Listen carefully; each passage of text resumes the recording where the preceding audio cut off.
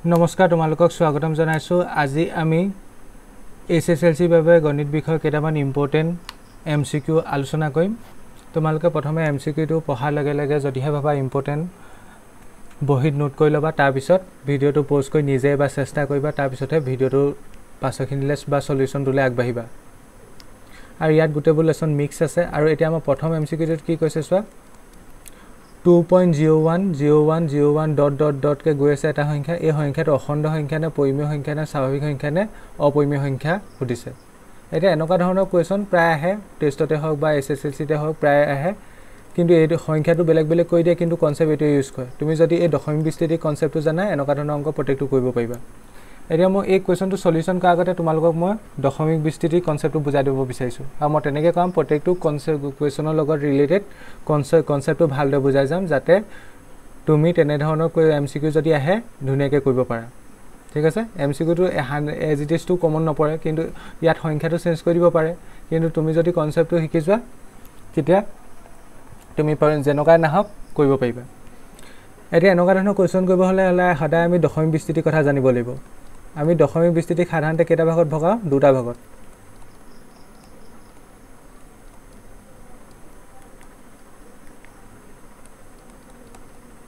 এটা হৈছে পৰিসমাপ্ত আৰু আৰু আনটো হৈছে অপৰিসমাপ্ত। পৰিসমাপ্ত মানে শেষ হৈ যায় আৰু অপৰিসমাপ্ত মানে শেষ হৈ নাযায়। নামতে ওলাই আছে পৰিসমাপ্ত আৰু অপৰিসমাপ্ত। পৰিসমাপ্ত বুলি ক'লে কেনেকুৱাবোৰ হ'ব? যিবোৰ দশম বিস্তৃতি শেষ হৈ যায় ধৰি লোৱা এক্সাম্পল এটা লোৱা ধৰি লোৱা five point one two five এই দশম বিস্তৃতিটো শেষ হৈ গ'ল কোনো ধৰণৰ ডট ডট নাই। ধৰি লোৱা তেনেকৈ মই যদি কওঁ ছিক্স পইণ্ট ফাইভ এইটো শেষ হৈ গ'ল ডট ডট নাই। এনেকুৱাবোৰ দশম বিস্তৃতি যিবোৰ দশ শেষ হৈ যায় সেইবোৰক কয় পৰিসমাপ্ত। আৰু অপৰিসমাপ্ত মানে কি? যিবোৰ শেষ নহয়। মানে যিবোৰ দশম বিস্তৃতি এনেকৈ ডট ডটটো দেখিবা। এতিয়া ইয়াত দুটা পচিবিলিটি হ'ব পাৰে। কি দুটা পচিবিলিটি হ'ব পাৰে? হয়তো দশমিকটোত মানে একেবোৰ সংখ্যা ৰিপিট হৈ গৈ থাকিব পাৰে নহয়তো বেলেগ বেলেগ সংখ্যা ৰিপিট হৈ যাব পাৰে। যদিহে একেবোৰ সংখ্যা ৰিপিট হয় তেতিয়া কয় পৌনপণিক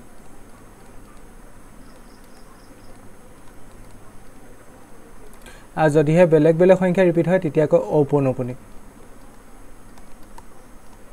মানে কি এতিয়া উদাহৰণৰ সহায়ত গম পাবা চোৱা ধৰি লোৱা মই যদি এটা এক্সাম্পল লওঁ ধৰি লোৱা two point one one one one dot dot দিলোঁ ধৰি লোৱা। এতিয়া এই সংখ্যাটো দশম বিস্তৃতি কি হয় কি হয়? অপৰিসমাপ্ত পূৰ্ণপণিক কেলে? কাৰণ প্ৰথম সংখ্যা প্ৰথম কথা চোৱা ইয়াত দশম বিস্তৃতি শেষ হোৱা নাই। তাৰপৰা আমি গম পাইছোঁ এইটো অপৰিসমাপ্ত। আৰু লগতে ইয়াত দশম বিস্তৃতিটো চোৱাচোন একেটো সংখ্যা ৰিপিট হৈ গৈছে। ইয়াত ওৱান ওৱানে ওলাই গৈছে।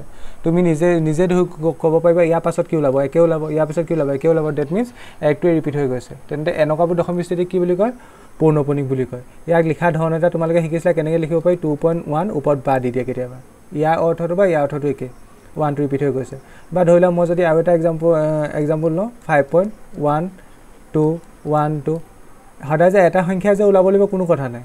এটাতকৈ বেছি সংখ্যাও ৰিপিট হ'ব পাৰে। ধৰি লওক এই one two one two dot dot দিলোঁ। এই সংখ্যাটো চোৱাচোন এই সংখ্যাটো দশম বিস্তৃতি কেনেকুৱা? প্ৰথম কথা অপৰিসমাপ্ত কাৰণ ইয়াত ডট ডট আছে। আৰু শেষ হোৱা নাই আৰু লগতে ইয়াৰ দশম বিস্তৃতিটো পৌৰ্ণপণিক। কেলৈ পৌৰ্ণপণিক? কাৰণ ইয়াত one two one two one two repeat হৈ গৈ আছে ইয়াত নেক্সট তুমি ক'ব পাৰিবা ওৱান টুৱে আহিব। কথাটো বুজি পালানে? তেন্তে এইটোক লিখিব বিচাৰিলে আমি কেনেকৈ লিখিম? ফাইভ পইণ্ট ওৱান টু আৰু এটা হ'ব পাৰে অপৰিসমাপ্ত কিন্তু অপৌনপণিক ডেট মিনছ দশম বিস্তৃতিটো শেষ নহয় কিন্তু একেবোৰ সংখ্যাও নোলায় ধৰি লোৱা। Five point one two three four five six seven dot dot দি দিয়া মানে যি টি ওলাইছে একেবোৰ সংখ্যা নাওলোৱা ধৰি লোৱা। ঠিক তেনেকৈ মই আৰু এটা কওঁ যদি three point one four two seven one five four two dot dot dot dot প্ৰথম কথা এইকেইটা দশম বিস্তৃতি শেষ হোৱা নাই। ডেট মিনছ অপৰিসমাপ্ত। কিন্তু একেবোৰ সংখ্যাও ওলোৱা নাই। তেন্তে অপূৰ্ণপণিক এইডোখৰলৈকে তোমালোকে দশম বিস্তৃতিৰ বিষয়ে গম পালা বুলি ভাবিছোঁ। এতিয়া মই যিটো ক'ম সেইটো বেছি ইম্পৰ্টেঞ্চ হয়। এতিয়া চোৱা যিবোৰ সংখ্যা দশম বিস্তৃতি পৰিসমাপ্ত হয় সেই সংখ্যাবোৰ হয় পৰিমেয়। সদায় মনত ৰাখিবা যিবোৰ সংখ্যা দশম বিস্তৃতি পৰিসমাপ্ত হয় সেই সংখ্যাবোৰ কি হ'ব? পৰিমেয়। তেন্তে যদি তোমাক এইটো দি দিলেহেঁতেন সুধিলেহেঁতেন পৰিমেয় নে অপৰিমেয় তুমি কি ক'ব লাগিব? পৰিমেয় বুলি ক'ব লাগিব। কাৰণ কেলৈ? কাৰণ সেই ইয়াৰ দশম বিস্তৃতিটো শেষ হৈ গৈছে। সদায় মনত ৰাখিবা যিবোৰ সংখ্যা দশম বিস্তৃতি শেষ হৈ যাব সেইবোৰ ক'ব পৰিমেয়। আৰু যদি শেষ নহয় মানে অপৰিসমাপ্ত হয় আৰু একেবোৰ সংখ্যা ৰিপিট হয় মানে পৌনপণিক হয় তেতিয়াও পৰিমেয় হ'ব। সদায় মনত মন মনত ৰাখিবা। বহুত ইম্পৰ্টেণ্ট চাৰ্টখন বনাই ল'ব লাগিলে। পৰিমেয়। আৰু যদি শেষ নহয় আৰু যি টি ওলায় মানে অপৌনপণিক হয় তেতিয়াহে অপৰিমেয় হ'ব। এইটো বহুত ইম্পৰ্টেণ্ট কি ক'লোঁ মই তেন্তে? দশম বিস্তৃতি শেষ হৈ গ'লে ডেট মিনছ পৰিসমাপ্ত হ'লে পৰিমেয় হ'ব। অপৰিসমাপ্ত হ'লে আৰু পৌনপণিক হ'লেও পৰিমেয় হ'ব। কিন্তু অপৰিসমাপ্ত অপৌনপণিক হ'লেহে অপৰিমেয় হ'ব। আশা কৰিছোঁ বুজি পালা। এতিয়া এই কুৱেশ্যনটো তোমালোকৰ কাৰণে এতিয়া ভাতৰ লগত পানী হ'ব। কুৱেশ্যনটো চোৱা এতিয়া কি কৈছে ইয়াত? Two point zero' one zero' one zero' one dot dot দিয়া আছে মানে এইটো শেষ হোৱা নাই অপৰিসমাপ্ত। এইডোখৰলৈ বুজি পাইছা? আৰু ইয়াতচোন চোৱাচোন একেটো সংখ্যাই ওলাইছে। Zero' one zero' one zero' one ইয়াৰ পিছতো কি ওলাব? জিৰ' ওৱানে ওলাব। ডেট মিনছ অপৰিসমাপ্ত এইটো কি? পৌৰ্ণপণিক অপৰিসমাপ্ত কি? পৌৰ্ণপণিক অপৰিসমাপ্ত পৌৰ্ণপণিক হ'লে কি? পৰিমেয় তেন্তে অপশ্যন কোনটো হ'ব? বি হ'ব। আশা কৰিছোঁ বুজি পালা। যিসকলে নোট কৰিলা ভাল কথা। যিসকলে নাই কৰা ভিডিঅ'টো পষ্ট কৰি প্ৰথমে নোট কৰি লোৱা। তাৰ পাছৰ কুৱেশ্যনটো চোৱা এতিয়া দুই নম্বৰ কুৱেশ্যনটো। আজি আমি বেচিকেলি দহটা কুৱেশ্যন আলোচনা কৰিম। ইয়াত কৈছে চোৱা কি চৰ্ত সাপেক্ষে a x square plus b x plus c equal to zero' সমীকৰণৰ এটা মূল আনটোৰ প্ৰতিক্ৰম হ'ব। প্ৰতিক্ৰম মানে অনন্য উল্টা। ধৰি লোৱা দুই দুই প্ৰতিক্ৰমটো কি? ওৱান বাই টু কথাটো বুজি পালানে? তেনেকুৱা। ইয়াত কৈছে এটা সমীকৰণ দিয়া আছে। সমীকৰণটো কি দিয়া আছে? দীঘাত সমীকৰণ দিয়া আছে a x square plus b x plus c equal to zero' basically এইটো কি? দীঘাত সমীকৰণৰ আদৰ্শ ৰূপ। এই সমীকৰণটো দুটা মূল থাকে আমি সদায় জানো কাৰণ ইয়াৰ মাত্ৰা কিমান? দুই। এতিয়া আমাক সুধিছে এনেকুৱা কি চৰ্তত এই মূলকেইটা এটা আনটোৰ প্ৰতিক্ৰম হ'ব? মানে জেনেৰেলি আমি এটা দীঘাত সমীকৰণৰ মূল দুটা কিহে ৰিপ্ৰেজেণ্ট কৰোঁ আলফা আৰু বিটাই। ক্লিয়াৰ কিন্তু ইয়াত আমি এনেকৈ ধৰিম চোৱা কেলৈ ধৰিছোঁ তোমালোকে নিজে গম পাবা। এটা মূলক ধৰি ল'লোঁ ধৰি লোৱা আলফা। ধৰি লোৱা মূল দুটা মই ধৰি লৈছোঁ। মূল দুটা মই ছাপ'জ কৰিছোঁ। এটা ধৰি লোৱা আলফা। আনটো কি কৈছে চোৱাচোন এটা আনটো প্ৰতিক্ৰম মানে এটা যদি দুই হয় আনটো কিমান হ'ব? ওৱান বাই টু হ'ব।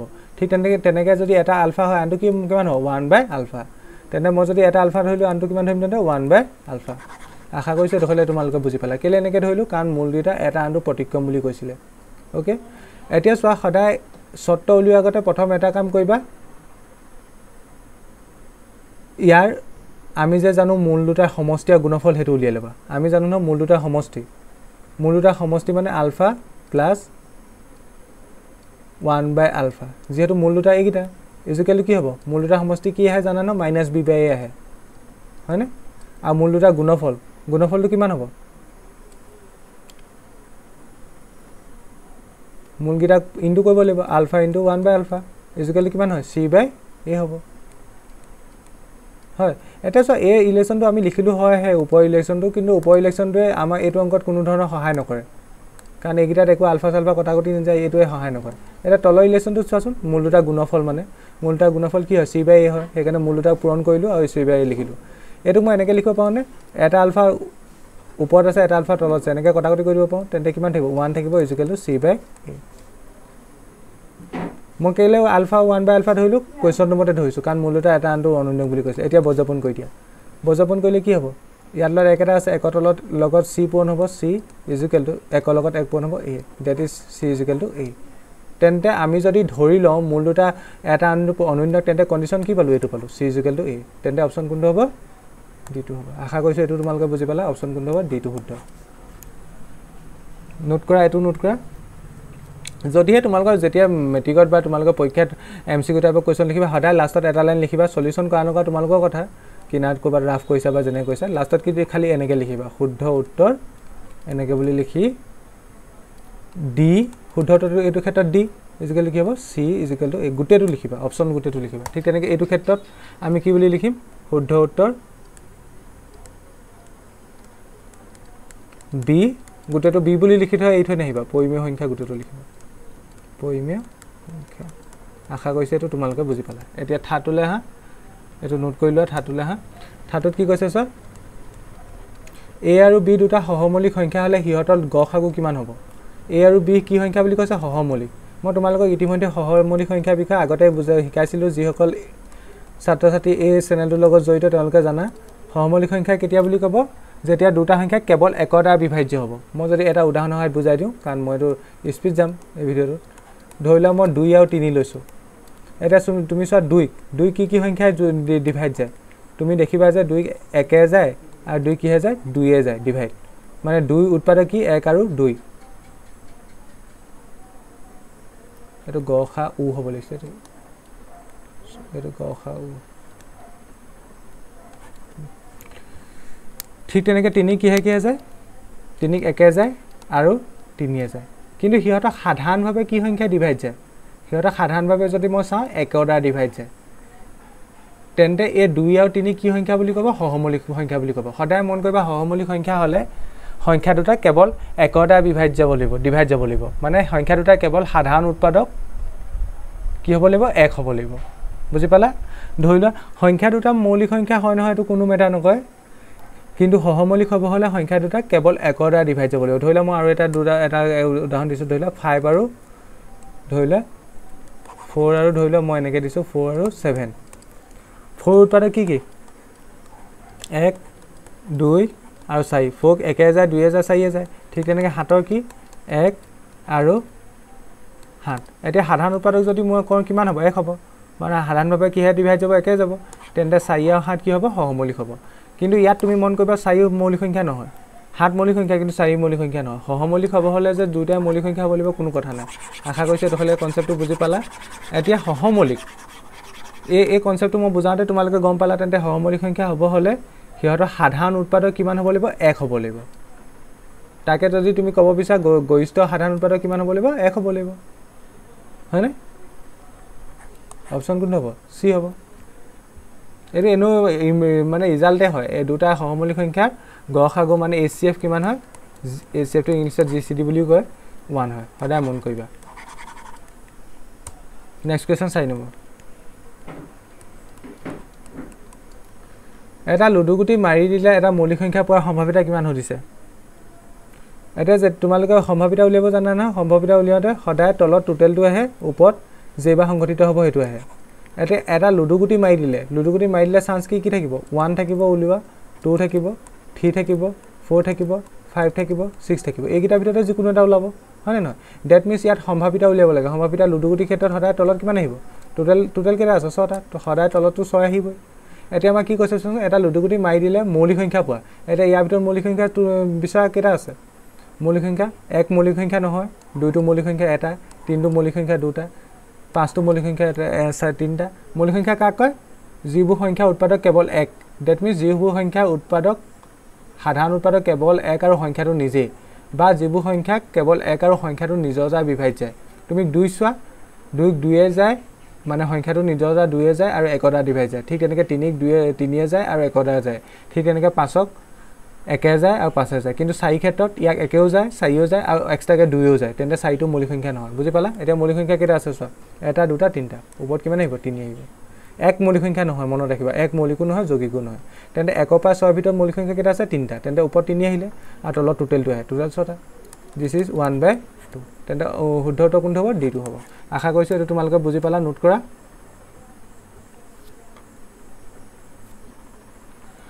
নেক্সট কুৱেশ্যনটো চোৱা।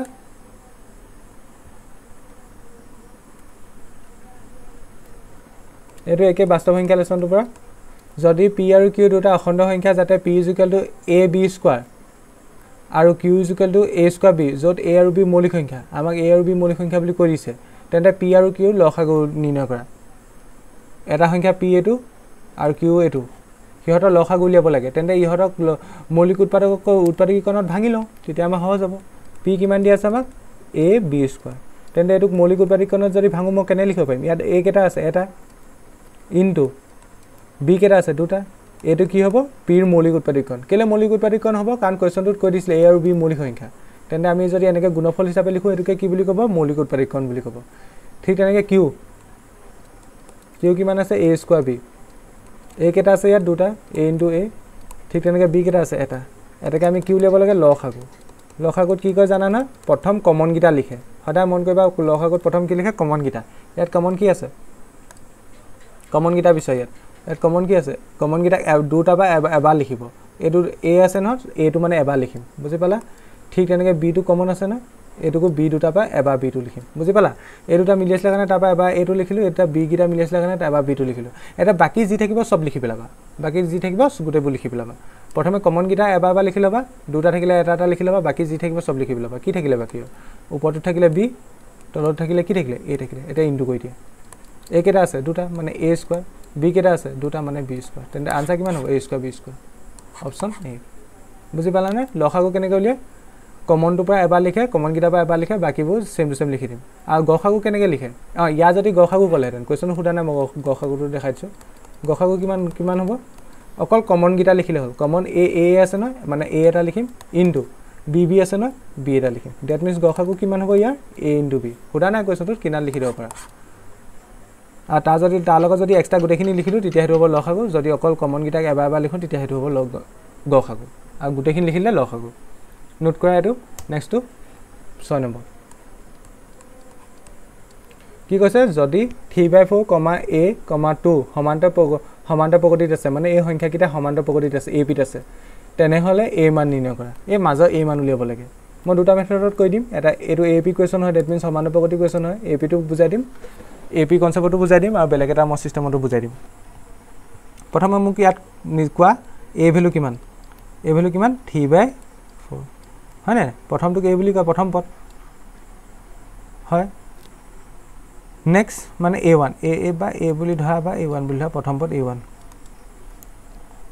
বা এইটো এ বুজি পালা? এ বা এ ওৱান একেটা বস্তু। আৰু ঠিক তেনেকৈ এটো ভেলু কিমান? এইটো ভেলু ইয়াত কিমান দিয়া আছে? এ দিয়া আছে। বা তুমি এনেকৈও ভাবা এনেকৈ ভাবা যিহেতু এইকেইটা পদ সমান্তৰ প্ৰগতিত দিয়া আছে। সমান্তৰ প্ৰগতিত দিয়া আছে তেন্তে প্ৰথমটো এ ওৱান ধৰি লোৱা এইটো ধৰি লোৱা এইটো ধৰি লোৱা এইটো ধৰি লোৱা এ থ্ৰী এনেকৈ বেছি ইজি পাবা।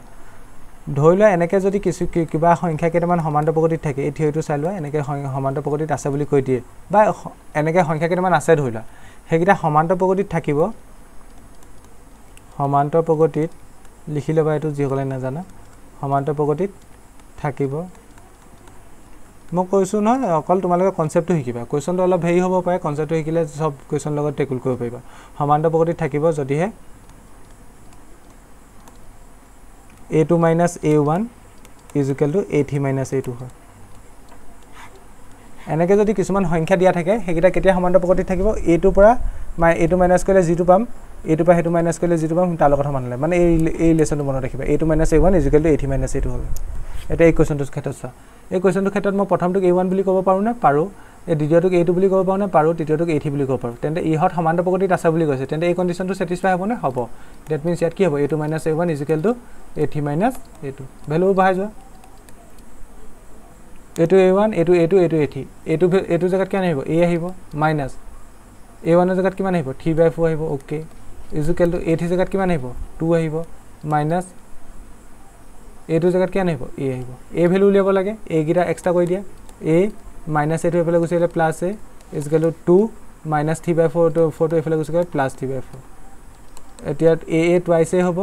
এইকেইটা লসাগু ল'লে তলত এক আৰু চাৰি লসাগু চাৰি আহিব ওপৰত হ'ব আঠ প্লাছ একে চাৰিক চাৰিবাৰ গ'ল নহয় চাৰিটো গ'ল দুই ইনটু কৰিলে আঠ হ'ব প্লাছ চাৰিয়ে চাৰিক এবাৰ গ'ল তাৰ লগত তিনি ইনটু কৰিলে ছেভেন হ'ব।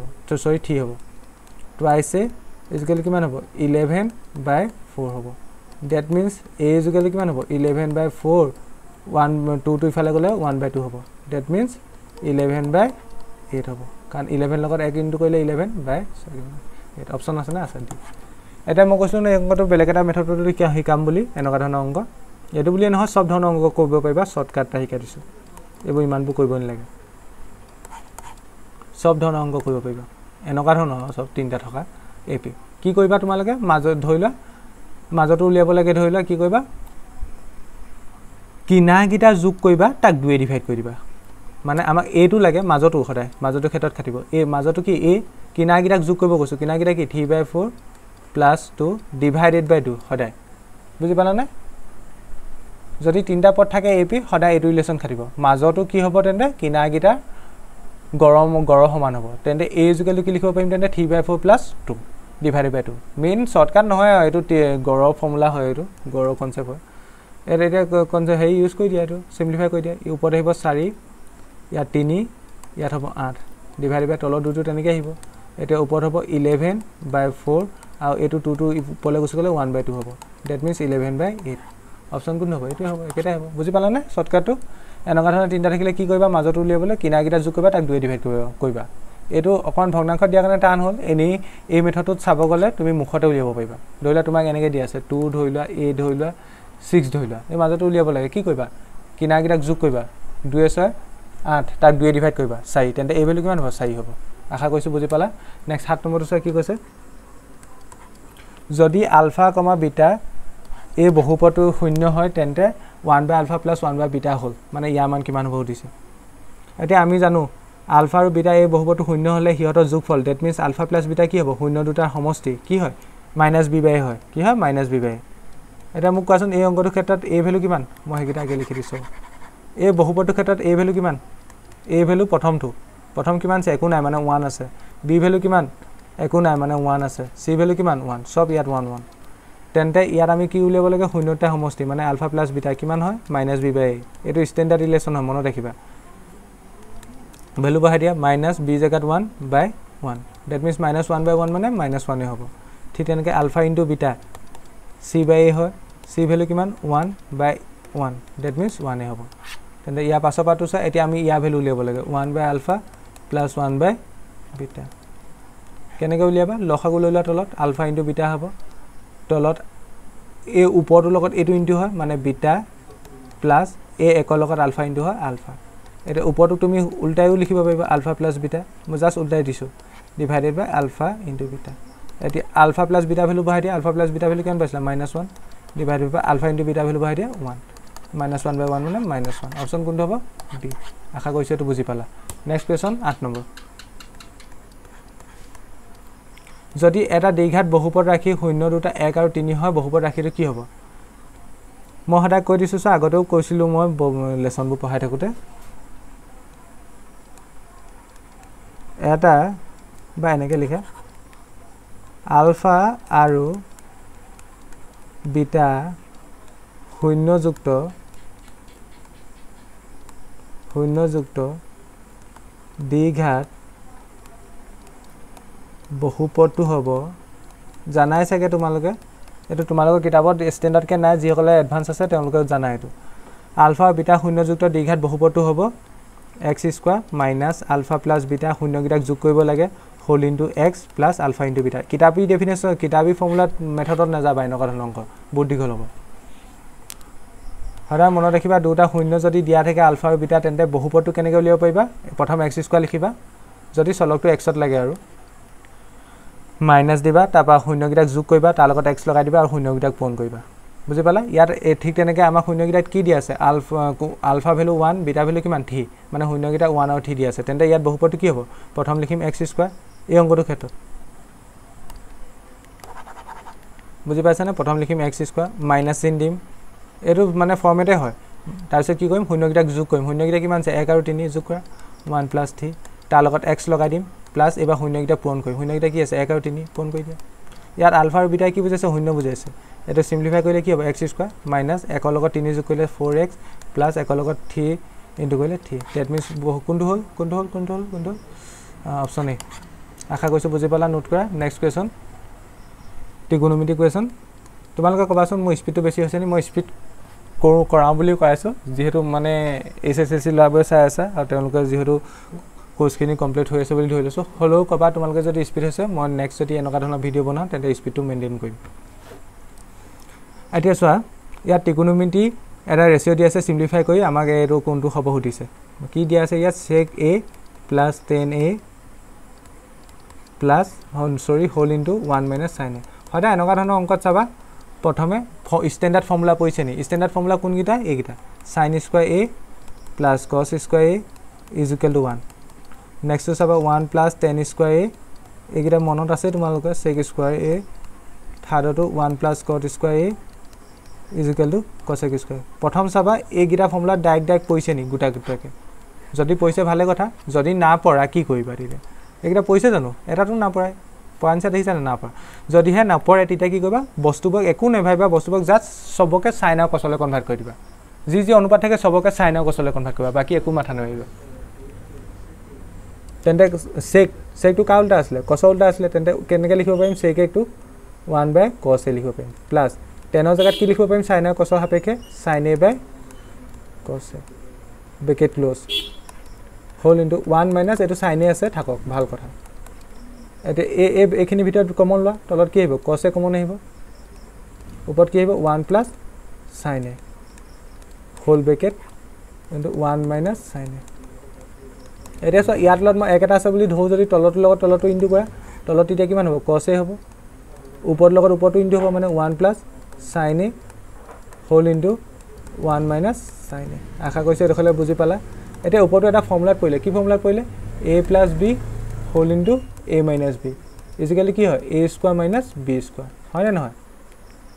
প্ৰথমটো a plus b a minus b কিমান হ'ব? এ স্কোৱাৰ মানে ওৱান স্কোৱাৰ এইটো এ ধৰি লোৱা এইটো b sin a whole square divided by তলত আছে এ অ'কে তেন্তে চোৱা এইটো।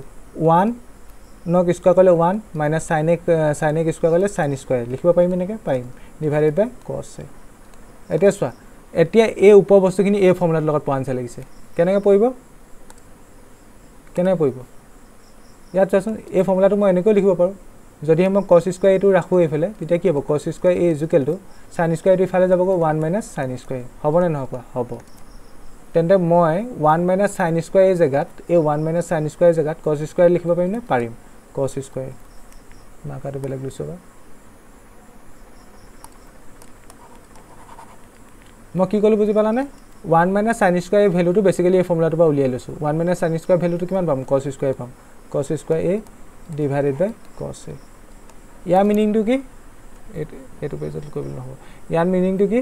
তোমালোকে সমান চিন দি তলে তলে লিখি যাবা আৰু। মই একেটা লাইনটো চব কণ্টিনিউ কৰি দিলোঁ। ওপৰত কছ এ দুটা আছে কছ এ ইনটু কছ এ ডিভাইডেড বাই কছ এ তেন্তে তলৰ কছ এটাৰ লগত ওপৰ কছ এটা কেঞ্চেল যাব থাকিব কি তেন্তে? কছ এ অপশ্যন কোনটো হ'ল তেন্তে? কছ এ কছ এ অপশ্যন ডি আশা কৰিছোঁ বুজি পালা। নেক্সট দহ number question p two root three comma root seven বিন্দুৰ পৰা ৱাই অক্ষৰ দূৰত্ব হ'ব। এনেকুৱা ধৰণৰ কুৱেশ্যনত ৱাই অক্ষৰ দূৰত্ব তোমালোকৰ যাৰ কনফিউজ লাগে সদায় কাৰ্টেজীয় সমন্বয়ত বিন্দু বিন্দুটো বহাই চাবা। অকণমান এক দুই মিনিট লাগিব কাৰ্টেজীয় সমন্বয়ত বহাই চাবা অকণমানো ভুল নহয়। আৰু মই ইয়াৰ শ্বৰ্টকাটাও কৈ দিম বাৰু। ইয়াত চাওক প্ৰথম এক্স অক্ষত মানে কেইঘাট যাব লাগিব? টু ৰুট থ্ৰী ধৰি লোৱা এক্স অক্ষত এইডাল এক্স অক্ষ এইডাল ৱাই অক্ষ এক্স অক্ষত ধৰি লোৱা টু ৰুট থ্ৰী ইমানটো গ'লোঁ এইটো টু ৰুট থ্ৰী ধৰি লোৱা এনেই ধৰি লৈছোঁ আৰু ছাপ'জ আৰু ৱাই অক্ষত ৰুট ছেভেন যাব লাগে। প্লাছত আছে কাৰণে ওপৰলৈ যাব লাগিব। ওপৰলৈ গৈ ধৰি লোৱা ইমানটো মানৰ ৰুট ছেভেন পালোঁ। একজেক্ট লোকেশ্যন নহয় মই এনেই জাষ্ট ধৰি লৈছোঁ। এইফালে ৰুট থ্ৰী এইটো ধৰি লোৱা টু ৰুট থ্ৰী আৰু এইফালে ৰুট ছেভেন এইটো ধৰি লোৱা। বিন্দুটো ধৰি লোৱা ইমানত পৰিলে। স্থানাংগটো কিমান? P two root three comma root seven এতিয়া কুৱেশ্যনটোলৈ ঘূৰি যোৱা। কি কৈছে? ইয়াত কুৱেশ্যনটোত কৈছে আমাৰ ৱাই অক্ষ পৰা দূৰত্ব। ৱাই অক্ষ কোনডাল? ৱাই অক্ষ এইডাল। তাৰ পৰা দূৰত্ব কোনটো? এইটো হয়নে? ইয়াৰ পৰা ইয়ালৈকে এইটো হয়নে? প্ৰথম কথা মন কৰিবা। আমি এই মূল বিন্দুৰ পৰা ইয়ালৈকে কিমান গ'লোঁ? টু ৰুট থ্ৰী গ'লোঁ। ইয়াৰ পৰা কিমান গ'লোঁ? টু ৰুট থ্ৰী গ'লোঁ। তাৰপৰা ওপৰলৈ কিমান উঠিলোঁ? যিহেতু ৱাই স্থানাংক আছিলে ৰুট ছেভেন ওপৰলৈ কিমান উঠিলোঁ? ৰুট ছেভেন উঠিলোঁ। ওপৰলৈ উঠিলোঁ ৰুট ছেভেন আৰু গৈ গৈ এইটো বিন্দু পালোঁ। এতিয়া আমাৰ কি উঠিলে? এতিয়া তোমালোকে জল জল পট পটকৈ ওলাই গ'ল। ৱাই অক্ষ পৰা দূৰত্ব উঠিছে ৱাই অক্ষ এইডাল তেন্তে তাৰপৰা দূৰত্ব কিমান? এইটো হয়নে? এইটো এইটো। ইয়াৰ পৰা ইয়ালৈকে এইটো এইটো। বিন্দুটোৰ দূৰত্ব ৱাই অক্ষ পৰা হয়নে নহয়? তেন্তে এইটো কাৰ লগত সমান হৈছে? এই তলডোখৰ লগত সমান বুলি মই ক'ব পাৰোঁনে পাৰোঁ। তলডোখৰ কিমান আছিলে? টু উঠি আছিলে। তেন্তে অপশ্যন কোন হ'ব? টু উঠি হ'ব আশা কৰিছোঁ এইটো বুজি পালা। যিসকলৰ কনফিউজ লাগে সদায় বিন্দু যি যিকোনো বিন্দু হ'ব পাৰে দেই ইয়াত। মই সেইটোৱে কৈছোঁ সদায় কুৱেশ্যনটো ফৰ্ম ফৰ্ম মানে কুৱেশ্যনটো মনত নাৰাখিবা কুৱেশ্যনটো ফৰ্মেটটো মনত ৰাখিবা। এনেকুৱা ধৰণৰ যিকোনো কুৱেশ্যন পাৰিবা যদি এইটো কুৱেশ্যন বুজি পোৱা।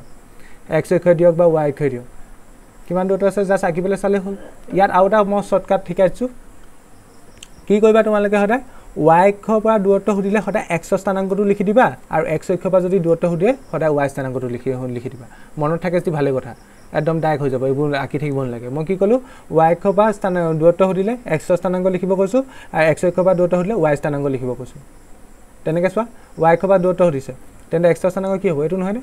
এইটো ৱাই স্থানাংক তেন্তে এইটো আনচাৰ হ'ব আমাৰ। হয়নে? সেইটো আনচাৰ ধৰি লোৱা মই যদি তোমাক কওঁ মাইনাছ ফ'ৰ কমা থ্ৰী ইয়াত ৱাই অক্ষৰ পৰা দূৰত্ব কিমান? তেতিয়া তোমালোকে আকৌ মাইনাছ ফ'ৰ কৰি দিবা কাৰণ দূৰত্ব মাইনাছ ফ'ৰ নহয় ইয়াত অকল প্লা ফ'ৰ ক'বা। সেইটোৱে হ'ব। মানে ৱাই খোপা দূৰত্বৰ কাৰণে এক্সৰ স্থানাংক চাম এক্সৰ স্থানাংক মাইনাছ ফ'ৰ কিন্তু তোমালোকে মাইনাছ ফ'ৰ লিখিবা কাৰণ সেইটো কমন চেঞ্চ তোমালোকে লগাবা আৰু। দূৰত্ব নেগেটিভত নহয় ঠিক আছে? ঠিক তেনেকৈ যদি তোমালোকক বিন্দু এটা দিওঁ মই ধৰি লোৱা টু কমা থ্ৰী ইয়াত এক্স অক্ষৰ পৰা দূৰত্ব কিমান? ডাইৰেক্ট চাবা ৱাই অক্ষৰ স্থানাংক কিমান? থ্ৰী তেন্তে আনচাৰ কিমান হ'ব? থ্ৰী হ'ব। যদি ইয়াত মাইনাছ থ্ৰী দি দিলেহেঁতেন তেতিয়াও আমি থ্ৰীয়ে লিখিলোহেঁতেন কাৰণ দূৰত্ব কেনত বি নেগেটিভ আশা কৰিছোঁ আজি এই কুৱেশ্যনকেইটা বুজি পালা যদিহে তোমালোকে চিৰিজটো ভাল পাবা বা ভিডিঅ'টো ভাল পালা মোক কমেণ্ট কৰিবা মই এনেকুৱা ধৰণৰ ভিডিঅ' আৰু বনাবলৈ ট্ৰাই কৰিম। আৰু স্পীডটোৰ ওপৰত তোমালোকে কমেণ্ট কৰিবা। মই আজি ভিডিঅ'টোত ইচ্ছা কৰি মই স্পীড স্পীডত গৈছোঁ।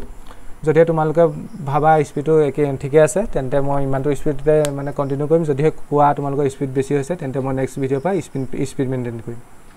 ঠিক আছে তেন্তে আজি ভিডিঅ'টো চোৱাৰ বাবে ধন্যবাদ।